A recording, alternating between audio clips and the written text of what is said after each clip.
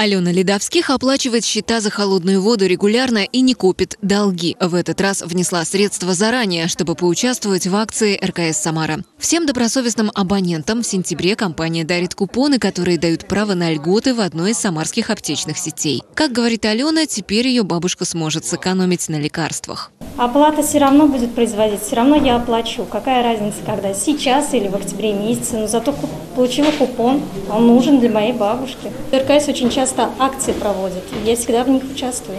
Это приятно.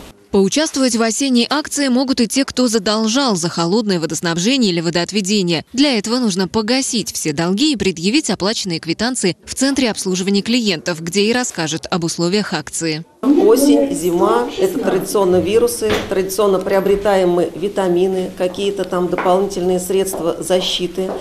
В том числе сейчас актуальны очень маски, масочный режим у нас сохраняется, поэтому я думаю, что это очень актуально для абонентов и возможность сэкономить в такой непростой период – это всегда положительно для семейного бюджета.